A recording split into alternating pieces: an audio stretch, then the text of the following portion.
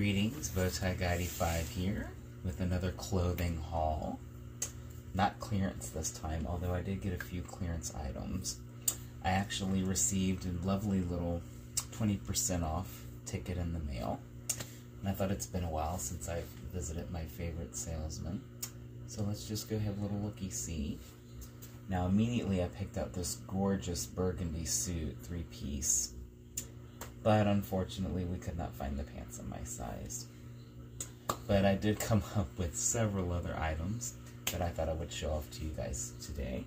We'll go through some of the clearance first, and then I'll show you what I actually spent the certificate on. So here's a clearance shirt that I picked up. I believe was about 20 bucks. Um, it's just a nice, more casual kind of button down. It's white with um, this lovely little kind of plaid box pattern, just plain old black and white. I have some slacks and some uh, sweater vests and things I think this shirt will look really good with. A couple of sport coats, so I'm very excited about that. Just need to find a hanger for it. Let's see here. Um, there is uh, this lovely little silk square. So it's tan, it's got some browns and oranges and yellows and greens in it. Floral pattern that has this lovely little kind of uh, olive and sort of mint green border to it.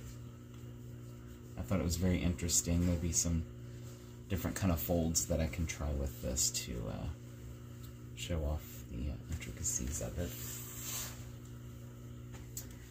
I got a green plaid jacket in a similar color scheme to that pocket square. But I'm having the sides taken in on that. So I will not have that available for you guys for a couple weeks. But I do have this um, lovely little tuxedo jacket. It was on clearance for 15 bucks. Can you believe that? That's a little snug, so I'm going to have to play with the shoulders a little bit. There's a technique to um, giving yourself some room in the shoulder, which I may show you in a short. I'm not sure exactly. Otherwise, it fits beautifully. So it's um, kind of like a steel blue, the base, and then it has this um, sort of pastel blue floral pattern to it. it has the satin buttons and the satin lapels. So it's going to be a really nice addition. I don't know they'll have a ton of chances to wear this, but for 15 bucks, come on. like, I could not pass on that.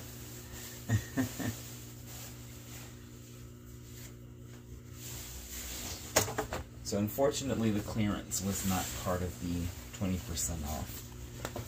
But I did find some items that I was able to use that on um, these cufflinks here, which I absolutely fell in love with.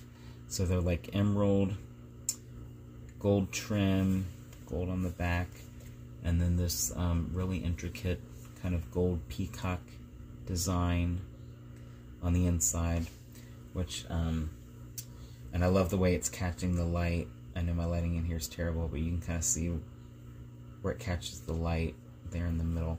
Really love this. I've got several outfits I do with this color scheme, and I think these cufflinks are going to be perfect for that.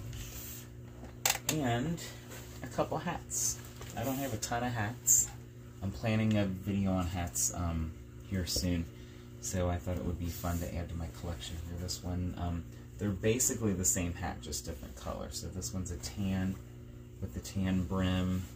They fit beautifully. I love the lip.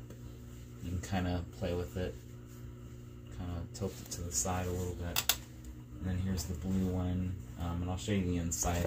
They both have the same um, lining on the inside. It's a moderate paisley.